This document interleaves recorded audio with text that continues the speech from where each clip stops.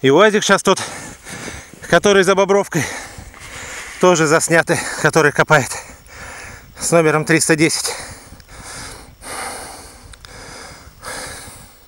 Офигеть. Не переживайте, сейчас подъедут люди.